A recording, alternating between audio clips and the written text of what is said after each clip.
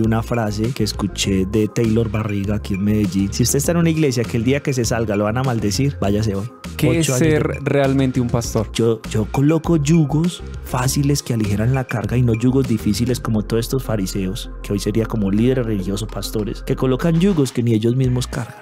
Y durante cinco años luché y oraba a Dios para que se me quitara ese peso y yo quería sentirme bien como los primeros tres años de ministerio en, en la IPUC. ¿Y por qué también la necesidad de subir algo y explicarle a la gente y no seguir de largo? Me han atacado porque 1700 mensajes en contra, la mayoría, casi, casi mentándome la madre evangélicamente. Los procesos, eh, la gente hoy en día los quiere acelerados. Se leen una sola página y quieren hablar del libro.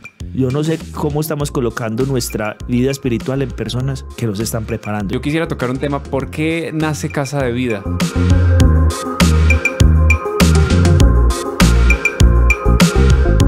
¿Qué tal? Bienvenidos a un episodio más en CJ Podcast. Para mí es un privilegio estar acá con una persona que se ha dedicado a soñar en grande, a tomar decisiones, a aventarse abismos que no cualquiera se avienta, a salirse de la zona de confort y a superarse en muchas cuestiones de la vida. Él es mi buen amigo Josu González. Bienvenido, ¿cómo estás mi hermano?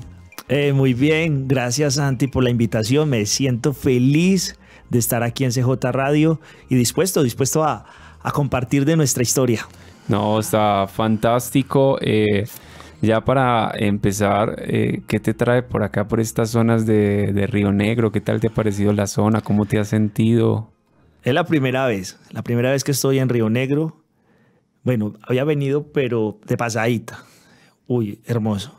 ¿Te gustó? Lo primero, el clima. Qué clima tan bacán. Nosotros que somos de Manizales, amamos el frío. Total. ¿sí? Los patifríos. Es que dicen, ¿no? Sí, total, es muy similar el clima y no, me alegra que te sientas bien, que te sientas cómodo. Aquí súper bienvenido, muy genial todo. Te quería preguntar y empezar este buen podcast que sé que va a estar súper interesante. ¿Dónde nace ese corazón de servicio? ¿Por qué decides vincularte en el ámbito espiritual? ¿Por qué quieres, o sea, desde dónde empieza eso, cómo empieza eso en tu vida, o cómo se da esa transición y ese, ese buen comienzo. Todo comienza con el ejemplo. Sí, vengo de una familia donde un padre me enseñó a amar a Dios. No de pronto con la presión de que sigue a Dios, sino con el ejemplo. Creo que lo que soy hoy es gracias a Dios y a mis padres. Ellos me enseñaron a amar a Dios sobre todas las cosas, sin yo haber tomado la decisión, porque aquí hay algo que la gente no sabe, y es que Santi y yo nos bautizamos el mismo día. Total. Con el mismo pastor en el mismo lugar, y venimos de una misma historia. De pronto de, de tener padres que no nos presionaron a seguir a Dios, pero que nos dieron buen ejemplo. De ahí nace el amor a servir a Dios y servir a la sociedad. Aunque realmente servir a Dios es servir al prójimo. Cada persona que le sirve al prójimo le está sirviendo a Dios. ¿Qué recuerdas tú cuando dices que, un ejemplo, que viste en él un buen ejemplo? ¿Qué fue lo que te cautivó? Como a decir, oye, esta línea me interesa, esto como que me cautiva, porque creo que es algo que en lo personal, si lo empiezo a ejercer, si lo empiezo a hacer, me va a traer un beneficio eh, o personal o simplemente dijiste, oye, me gusta esa manera de ver la vida, me gusta esa manera de servirle a la gente. O sea, que fue como ese, esa vaina que te hace como un chispazo así que tú dices, oye, yo me siento cautivado por lo que el ejemplo que da mi papá, ¿dónde fue que, o sea, qué fue lo que tuviste en él como ejemplo a seguir y a, y a complementarlo para tu vida? Santi, creo que uno entiende muchas cosas cuando va madurando. En la niñez... Eh, hablé con Dios o si Dios existe y, y, por qué nací en un hogar cristiano y por qué mi papá es pastor. Pero hoy entiendo que fue la transición para llegar a un hogar saludable. Jamás he visto a mi papá gritarle a mi mamá. Menos llegar borracho, menos fumar, menos ningún vicio. Siempre lo vi en una vida devocional y en su ejercer en el ministerio habían cosas que yo no entendía, pero que luego comprendí que era lo más sabio el acompañamiento al pueblo. Realmente hay cosas que, que, el dinero no va a comprar. Y me encanta el dinero, pero hay cosas que el dinero no va a comprar. ¿Qué no compra el dinero para ti? Tener las personas adecuadas en el momento preciso.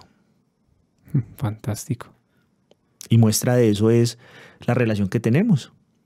El tiempo que, que estuvimos con su mamá y donde mi papá yo lo vi cuidando a una persona sin esperar nada a cambio.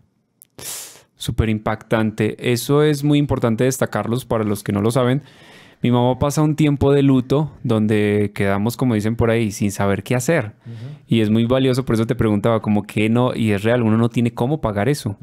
Porque ahí ya no vale ni, aunque pagues un millón de dólares, es como que la persona, por decisión propia, porque recuerdo muy bien que tu papá se levantó ese día muy como a las 11 o 12 de la noche se fueron hasta el lugar del accidente y lo hizo por vocación, por amor a, las almas, por amor a decir el acompañamiento, el decir yo estoy en esto y esto a mí me, me identifico con la causa y yo vine acá fue a servir.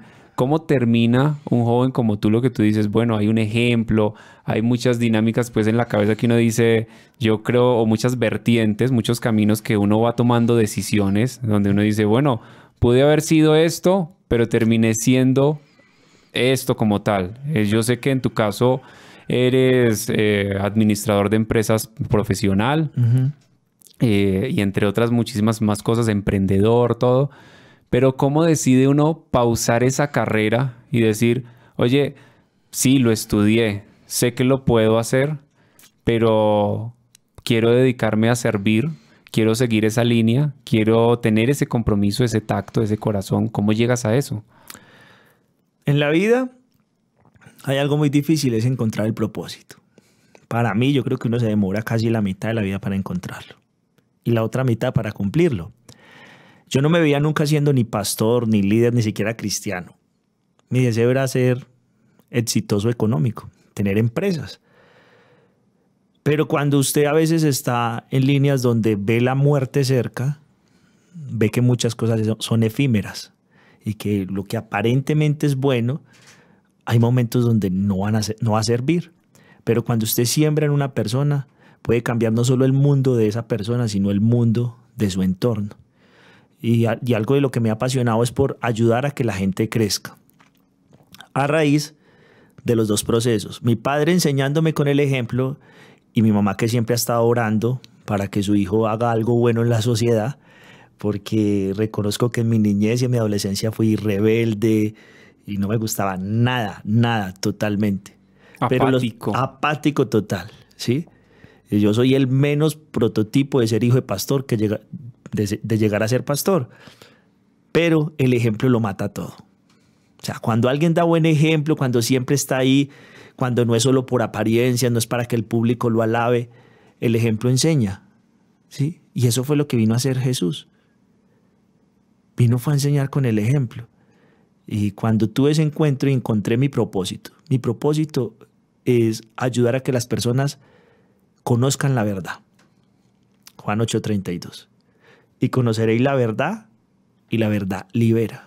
El pueblo no necesita dinero, no necesita más mercados, necesita conocer muchas cosas, tener conocimiento, porque ¿qué se gana una persona con que le den 10 eh, millones de pesos hoy si ya ahí mismo se va para el, supermercado y el centro comercial y se los gasta? No, dele el conocimiento y con ese conocimiento cualquier oportunidad eh, convertirá esa oportunidad en grandes ganancias. Fantástico. Pero, ¿dónde dices tú bueno, yo terminé siendo un guía espiritual, una persona que acompaña a la gente. O sea, ¿cuándo sentiste tú como esa carga por encima del ejemplo donde tú dices, mi papá me dio el ejemplo de sentirlo, o sea, como que cómo se hace?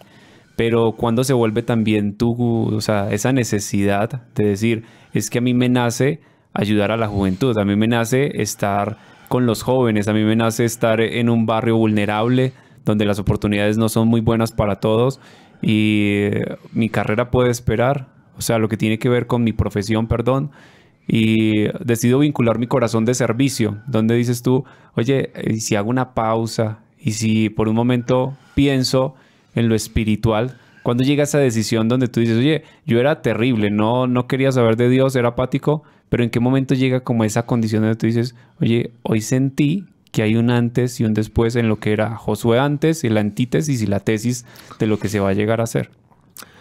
Bueno, e-, es duro contarlo, pero a los 16 años, eh, mis padres tienen que acercarse y decirme, eh, mi papá estaba viajando por temas de trabajo y mi mamá se da cuenta de, un escándalo en la iglesia, ¿sí? de mal comportamiento, al punto que dicen, eh, por, su forma de actuar vamos a perder el ministerio. Porque mientras que su padre está en la dominical predicándole al público, 300, 300 personas, usted está guiando a los chicos a hacer el pecado. ¿Qué es el pecado? Ya le la contraria a Dios. Y me dice mi mamá así de frente, porque mi mamá es fuerte. Sin anestesia, lo que era. Nada, eh, vamos a orar para que Dios se lo lleve. Y yo quedo frío. Uy, Dios mío. Yo, porque yo he visto a mi papá orar por personas y se van de una. Y a mí ya me pasó también ya en mi ministerio. Y yo, ay, Señor, esto va como en serio. Y yo le no, deme una oportunidad. Eh, e, esa misma semana, un diácono de la iglesia, que era muy amiguito mío, me dice, José, usted no sirve para nada. No quería estudiar, no trabajaba, solo hacía daños en la iglesia. Y cuando él me dijo, José, es que usted no sirve para nada, yo dije, yo no sirvo porque no me da la gana, pero si yo me lo propongo, sí. Claro, tu energía estaba potencialmente donde no era. Sí, porque yo estaba, era, yo tenía una, una, la iglesia y el ministerio me quitó a mi, a mi familia, me quitó los días de descanso. Yo no sabía que era un domingo de descansar. yo me acuerdo cuando usted se iba para la piscina, para la Rochela. Claro. Y a, mí nunca me sucedió eso. Un domingo eso era casi un sacrilegio no ir a la iglesia y estar, y eso hacían servicios todos los días, y el paseo era ir a, una, a un evento más grande en otra ciudad. Yo me lo voy a proponer, voy a volver buen cristiano. Y aquí donde he llevado a todos estos chicos a hacer lo malo, los voy a llevar a lo, bueno. Y en, y en el libro que escribí con un amigo, con Johnny, cuento cómo en dos iglesias pasé de 30 jóvenes a 120 en un proceso de tres años, en un proceso de crecimiento. Esos mismos 30 pelados que los estaba influenciando a hacer lo malo, convertimos una iglesia de 30 pelados en una iglesia de 120 pelados, amando a Dios sobre todas las cosas. Bueno, cuando ahí demos ese brinco o ese salto cuántico brutal, porque te adelantaste algo muy bacano, sale el diario de Acevedo. Ajá. Antes de eso, obviamente, tú tomas una decisión, antes de llegar a ese diario tan increíble, eh, ¿por qué decides ser pastor? O sea, tuviste la transformación y tuviste el cambio donde tú dijiste, bueno, aquí no me quedo de otra porque si no me voy. O sea, tienes la, la fe, tú dices, bueno, la entendiste, como dicen por ahí, te concentraste, pero ¿cómo elevas tu nivel al punto de decir, oye, yo creo que ahora voy a servir para mucho? Y una de esas cuestiones es ser pastor. ¿Por qué ser pastor y no seguir en tu carrera? O sea, lo que, en lo que te habías educado, en lo que te habías eh, formado como persona. ¿Por qué meterte en problemas? ¿Por qué acarrear con problemas de otra gente? Que uno dice, bueno, porque la gente a veces se empeña en que, porque hablo de esto porque a mí me interesa mucho saber del llamado, cómo llega esa persona a decir, oye, no me emocioné, sino que esto realmente a mí me gusta y puedo pasarme toda mi vida hasta el día que Dios me llame y creo que quiero eh, aconsejar y quiero acompañar. ¿Cómo llegas tú al, al, pastorado y esas cuestiones así a liderar? Pasa, pasa esta temporada con, con estos jóvenes en esa iglesia. A mi padre lo trasladan nos vamos. Y ya yo llego pues un poco más maduro a ejercer un ministerio. Igual había 25, 30 jóvenes. Comenzamos el proceso y a los tres años ya tenemos casi 120 otra vez. O sea, se, se duplica. Y me doy cuenta que, que como que sirvo para esto. Que eres líder. Sí, o sea, que, que no lo busqué, pero que que cuando me dan la oportunidad de hablar en, el público, Dios habla, hay transformación, hay vidas cambiadas. Y una vida cambiada lo paga todo.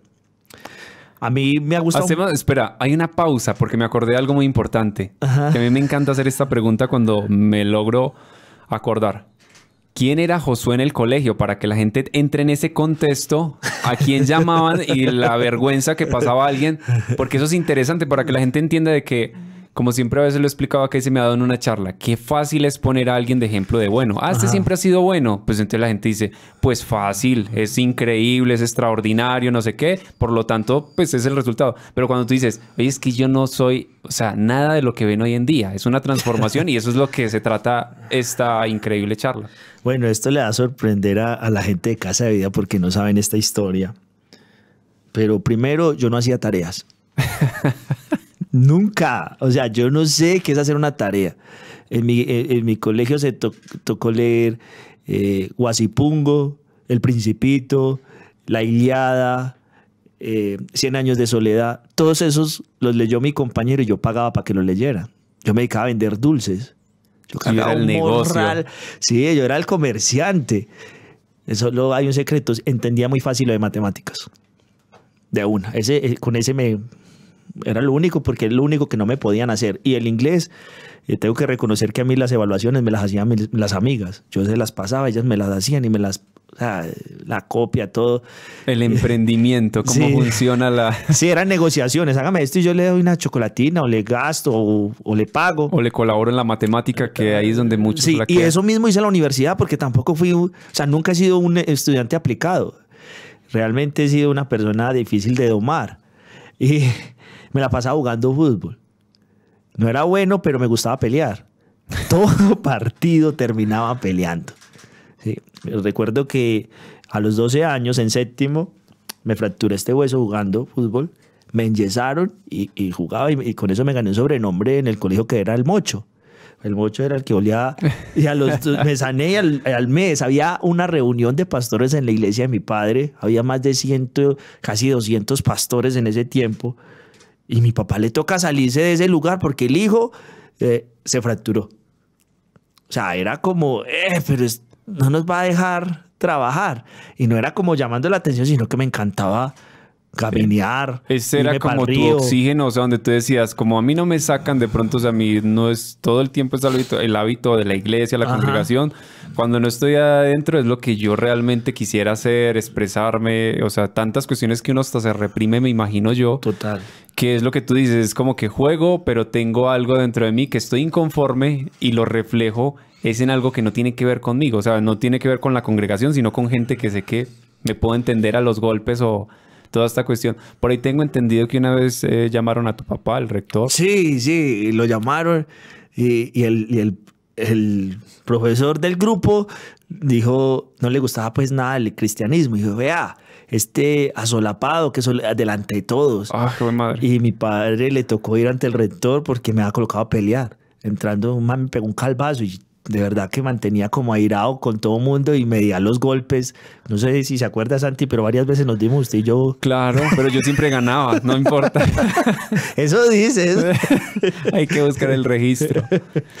Pero entonces, ¿qué le dicen a tu padre en ese momento ahí cuando van al colegio? O sea, le dijo... No, como pero mi que le- papá- le- o sea, le, eh, hasta donde tengo entendido, ese rector como que le saca su en cara, como Sí, que, como el que el hijo del cristianismo, pastor. claro, porque estábamos en Manizales y, y era un barrio muy difícil para, Muy religioso y muy- todo. sí, para que las personas se acercaran a Jesús y encontrar que, que el pastor que está invitando a la gente a, a la iglesia no es capaz ni de controlar a su hijo. Eso es algo difícil.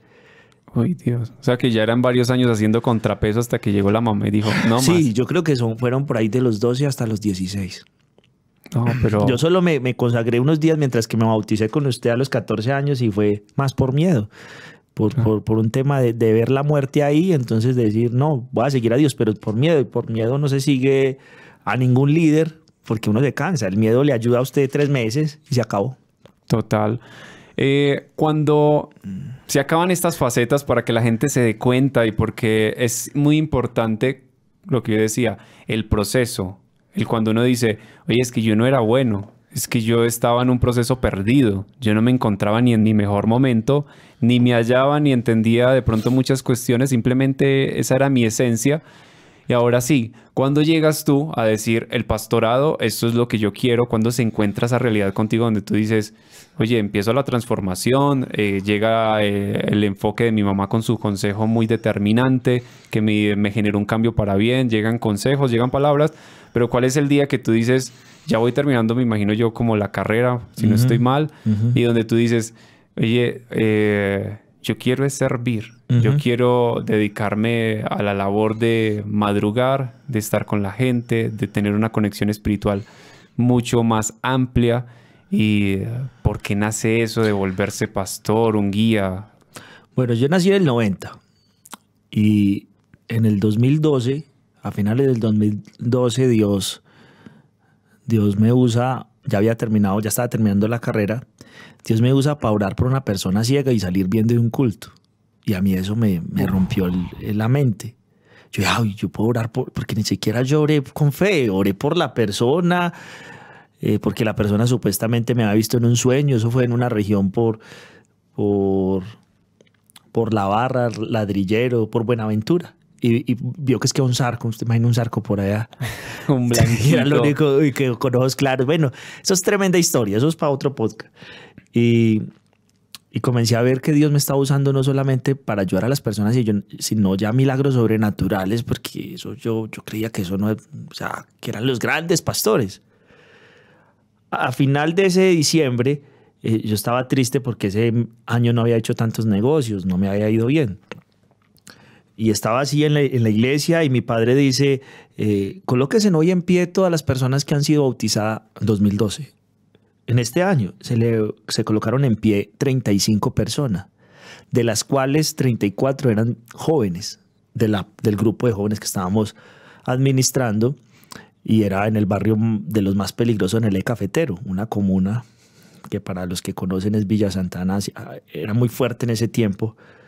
Y Dios me, me habla y me dice, y mire todo lo que ganó. Y yo estaba pensando en solo, en solo dinero y yo le dije, Señor, perdón, ya el dinero no es tanto, es más una vida cambiada.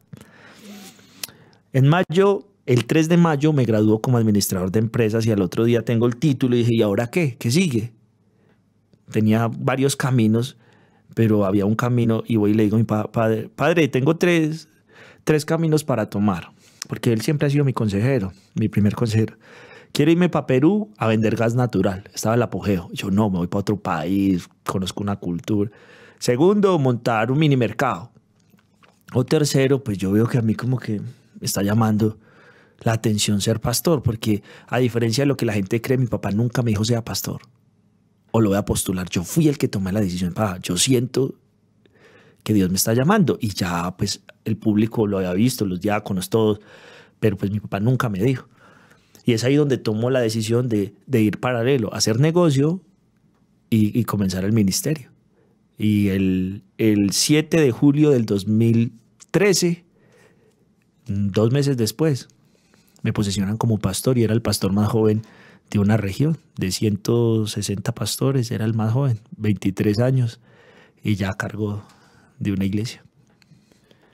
¿Cómo se vive ese proceso cuando uno dice, oye, dejo tantas cuestiones como atrás y empieza una nueva visión de la vida? Porque es como que yo me preparo tengo que ser ejemplo para otros, tengo que estar disponible para otras personas.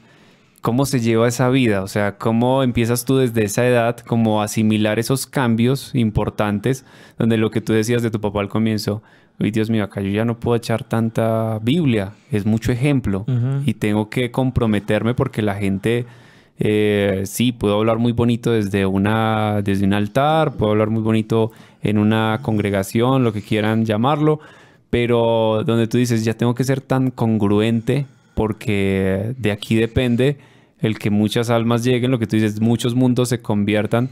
¿Cómo se da ese primer comienzo de decir, oye, es que ya oficialmente, pues, o sea, tú ya estabas convencido, es lo que yo veo, como que vi un ejemplo y todo, pero cuando ya llegas y te dicen, bueno, todo el mundo se fue, tú en ese momento no, no eras, estabas casado aún, ¿cierto? No, no, no, no. Yo me caso tres años después de ser pastor, dos años y medio. Resulta que, bueno, me voy a meter en esto, pero, pero se me quedó claro algo de un líder. Y es que hasta que usted no sea ordenado, usted no es pastor. Y yo, bueno, me demoró ocho años para ser ordenado. O sea que a los 30 realmente seré pastor. Ahora la gente me va a decir pastor, pero yo no me las creo. Y comencé un proceso de educación. Porque el conocimiento es poder, la verdad libera. Y como dice Oseas 4.6, este pueblo pereció porque le faltó conocimiento. Nunca leía. Listo, me voy a convertir en un lector. Debilidades a fortalezas. Eh, esa era una debilidad.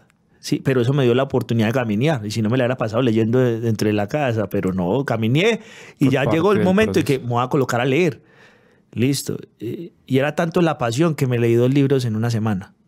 Los primeros libros. Y, sé de quiénes fueron y, qué libros fueron. Y, y, hasta hoy hablo sobre esos libros.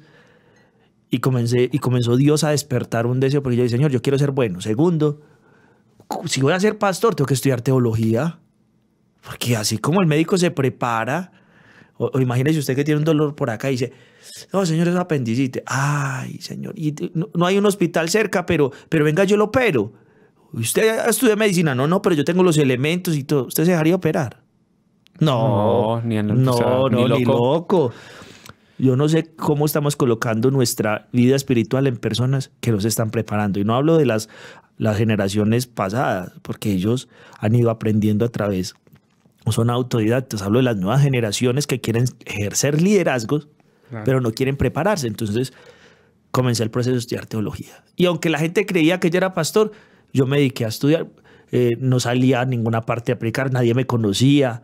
Solamente era preparación, preparación, preparación, preparación. A los 30 años me sentí preparado. Yo siento que a los 30 años comencé a ser realmente un pastor. ¿Qué es ser realmente un pastor? Primero, afiné mi oído. Usted es músico. La diferencia entre pastores y entre líderes comunes a líderes extraordinarios no es lo que diga la gente, es lo que diga el cielo. Y eso parte de un oído afinado. ¿Sí? Las personas que ministramos a un pueblo tenemos que saber escuchar la voz de Dios. Me demoré ocho años para tomar la madurez y entender cuando Dios me está hablando y cuando el pueblo necesita las palabras correctas. Pastorear no es predicar, pastorear es guiar, administrar, cuidar a esas ovejas. ¿sí? Tener una paternidad sobre ellas. Pero antes de llegar a ser pastor, primero hay que ser buen ser humano. Jamás, ese es el primer filtro, jamás un mal cristiano será un buen ser humano o un buen cristiano supuestamente. No, primero es un buen ser humano. Segundo, un buen cristiano. Y ahí sí, un buen pastor. Pasé los tres filtros y a los 30 años sentía que ya era un buen ser humano, que era un buen cristiano y que estaba comenzando el proceso de pastoreo. Cuando se va construyendo ese mundo así, como tú lo vas diciendo, y eso toma tiempo, todas esas capas, el uno eh, ponerse al filtro de personas que te van a decir, oye, es que tú no sabes, es que tú no tienes ni idea de qué se trata dar una buena, un buen sermón, explicar bien esto, eh, tener la humildad para aprender, que eso es lo, que escucho ahí, o sea, como que es un procedimiento que va tomando tiempo, porque normalmente a veces entendemos que los procesos, eh, la gente hoy en día los quiere acelerados, y eh, como a veces, muchas veces se menciona, se leen una sola página y quieren hablar del libro. Y es importante, ocho años son ocho años, donde hay crisis, donde las emociones a veces no se sienten bien, donde a veces todo se puede ir a pique, donde uno dice las cosas no se tornan de la mejor manera. Háblame de los tiempos de crisis, cuando uno dice, oye, hoy el ánimo no estaba, pero a pesar de... ¿Qué traías tú a tu mente para decir, tengo que seguir en esos, en esos ocho años de preparación ¿Y qué encontraste tú como refugio y como fuerte para no perder la claridad de lo que, de lo que querías y la visión? Eh, buenos mentores. Hay personas que han sido mis mentores y ellos no me conocen. Resulta que mi papá me enseñó a ser proactivo, pero en mi casa no me enseñaron el hábito de lectura. Cuando comencé a leer, el proceso de la lectura es primero escoger un buen libro, pedir libros recomendados, ¿sí? porque yo no sabía nada del tema. Segundo, leerlos con atención. Y tercero, colocarlos en práctica. Todo libro que he, que he leído y que me ha gustado lo he colocado en práctica. Leí uno de jesuita y que había que tomar un peregrinaje y me vine a Armenia, Pereira, por destapada con otro amigo. 14 horas caminando. Pero es colocarlo en práctica. Entonces comencé a leer, a colocar en práctica lo que leo y comenzó a transformarse la mente, el ser como tal, y comencé a, entender tantas falencias que tengo y, que, que antes de poderlo predicar a otro, tengo que vivirlo, o sea, tengo que vivir una transformación. Y conseguí tres palabras que me han ayudado en este proceso. Y se llama primero proceso. Creo en los procesos. Y los procesos dan muchos resultados. Entonces, yo nací para ser pastor, comencé a los 30 años y nací para ser 30 años de pastor. O sea, hasta los 60. ¿Qué afán tengo? Un día más, un día menos, no hay problema.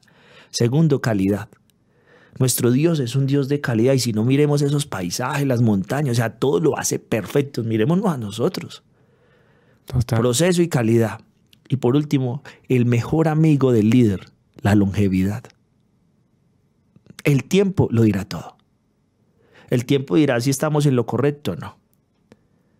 Sí, porque hoy vemos a alguien con apariencia, pero en los años nos daremos cuenta si esa apariencia era real o no era real. No hay otro mejor juez que el tiempo.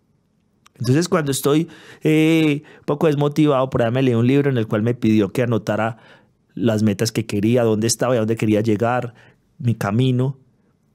Y yo tengo eso escrito. Y cuando me siento un poco, voy leo, voy veo un video de lo que, lo que hemos hecho. Porque es que una vez está más pensando en el futuro. Y eso se llama ansiedad. O pensar más en el presente. Se llama estrés. Y pensar en el pasado se llama depresión. Pero eh, Dios a través de su escritura en Mateo 6, 26 dice, pues no te preocupes, relájate, vive el día a día, cumple mi propósito. Y, algo que me, que me enfoqué fue a seguir dos líderes de la Biblia, David y Jesús. David vivió el proceso. Jesús también. Jesús tenía un propósito, tres años o tres años y medio, como lo quiera, en la tierra. ¿Cuál era el afán? ¿Cuál era el afán de ir de Galilea a Jerusalén, que era aproximadamente 70 170 kilómetros, y nunca lo hizo en transporte? Siempre lo hizo caminando, con sus paradas, relajado. ¿Y por qué el ministerio de Jesús no, no fue 30 años? ¿Por qué solo tres? Porque en tres podía hacer todo. Porque la vida venidera es mejor que esta vida. Y cuando yo entiendo eso, no tengo afán. Ah, Josu, entonces usted nunca se entristece. Claro. Jesús también lo hizo. Señor, si es posible, pasa de mí esta copa. él no quería ser crucificado en su humanidad. Pero hay metas mayores. Sin esfuerzo no hay resultado. Y cuando desde pequeño nos enseñaron a esforzarnos en nuestros hogares, sabemos que todo esfuerzo también trae recompensa. Eso ha hecho que no podamos desmotivarnos. Ejemplo, a veces eh, el decirlo públicamente hace que usted se obligue. Yo leí eso en un libro y lo hago. Le prequé a la iglesia, ¿por qué los pastores son gordos? Ahí está en un video de YouTube. ¿Por qué los pastores son gordos? Para el que lo quiera ver, Josu González. Entonces me comprometí a no dejarme subir de peso. Ahí me obligué con mi pueblo, con mi gente, con la familia, que es la iglesia. Eso me ayuda a cumplirlo. Hay días que no quiero comer mucho. Me acuerdo, ¿por qué los pastores son gordos? Esto es ansiedad. No, no puedo. Porque voy a ir en contra de lo que estoy profesando.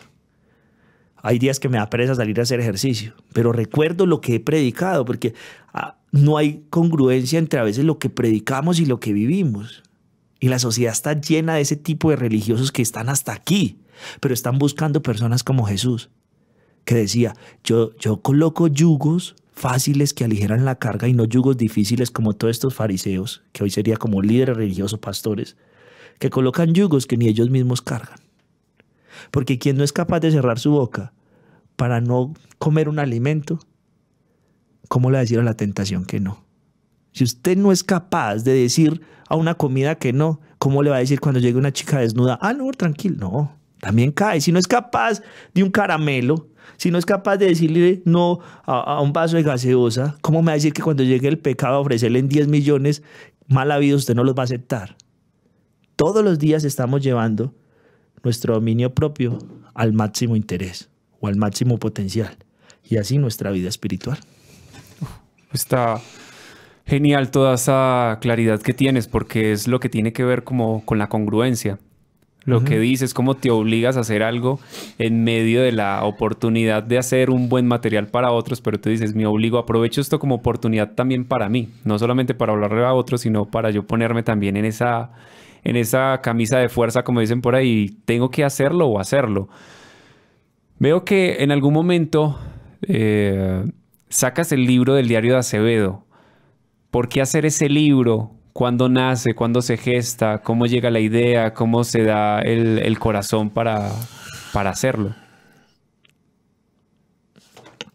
Parte desde las premisas. O sea, hay algo claro y, si, y si estamos, eh, estamos enfocados en lo claro, cualquier cosa que nos ayude a crecer, como estar aquí, es nuestra prioridad. Queremos que el pueblo cambie. ¿Cómo cambia el pueblo? A través del conocimiento. Eso quiere decir que hay que llevarle conocimiento al pueblo. Me junté con un amigo que es periodista y le dije, hey, hagamos un libro fácil, hagamos como especie de novela.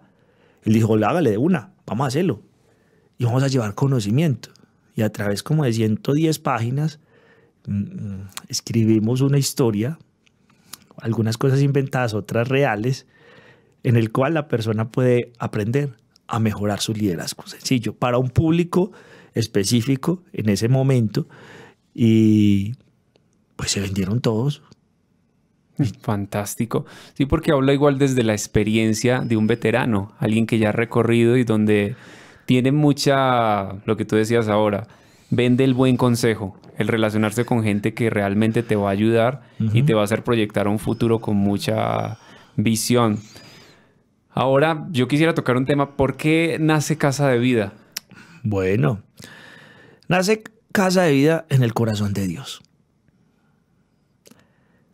Es duro, eh, recuerde que, ahorita dije, estaba afinando el oído.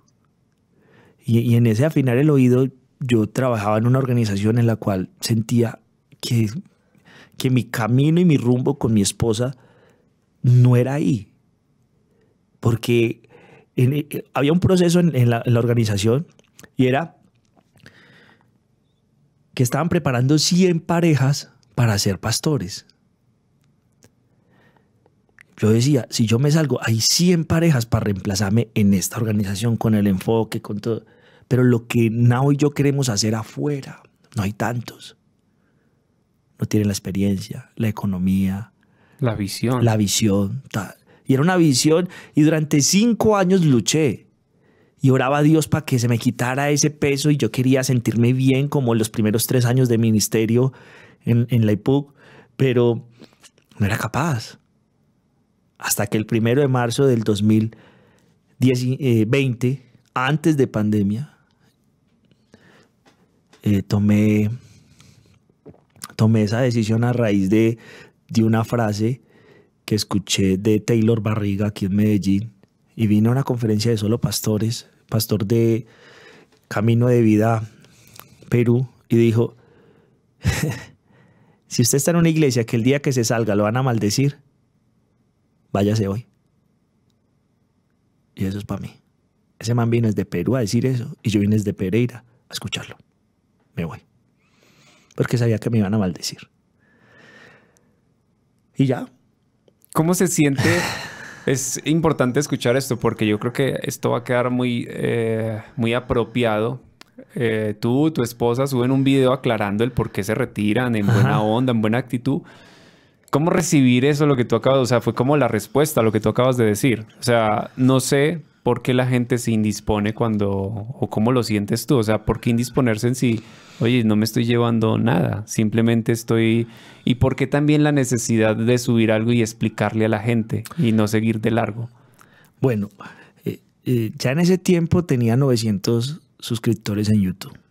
Un suscriptor en YouTube vale mucho, sí, porque es alguien que se toma el tiempo de escuchar lo que a usted se le venga a la mente. Y estaba en 900 suscriptores y, llevaba conocimiento. el que quiera puede ir a ver, pues talquear y enseñaba cómo predicar. Entonces creía que ese público merecía un respeto de contarle por qué mi decisión. Porque ese domingo prediqué en la iglesia y al final le dije a la iglesia, hasta hoy escucharon a Josué. en una iglesia pentecostal, aunque estos días ya prediqué en una pentecostal, pero no, no, es es sino otra organización. Pues cosas de la vida y cosas de Dios. Y tomar la decisión de coger un camino solo, mi esposa y yo, para adelante. Mm, veo que, que muchas personas pues se fueron en contra y todo eso. Pero conoceré la verdad y la verdad libera. Muchos de ellos me han atacado porque 1700 mensajes en contra, la mayoría, casi, casi mentándome la madre evangélicamente. Eh, es duro. Y, algo, y a cualquiera lo bajonea, lo bajonea, lo coloca mal.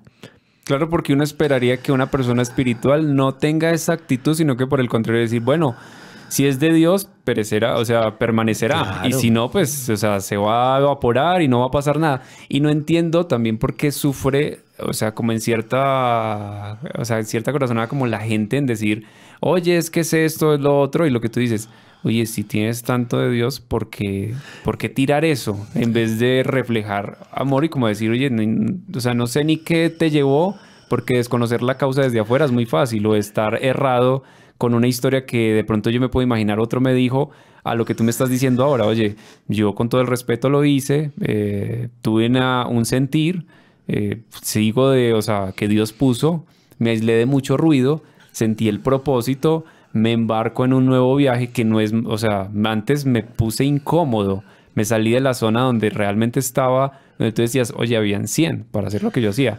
Y en el caso tuyo es como donde no hay nadie y donde, oye, ¿por qué se molestan por eso y, en qué?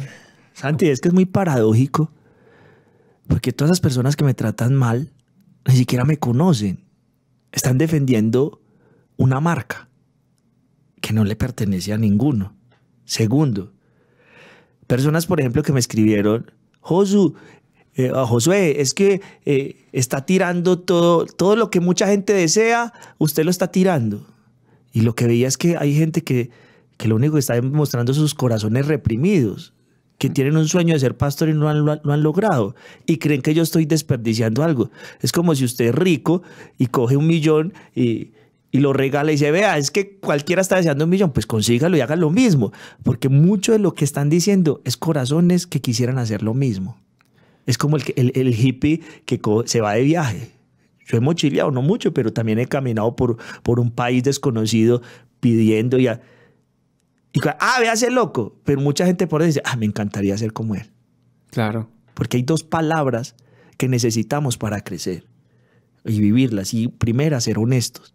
Decimos una cosa, pero estamos pensando otra. Y segundo, ser responsables.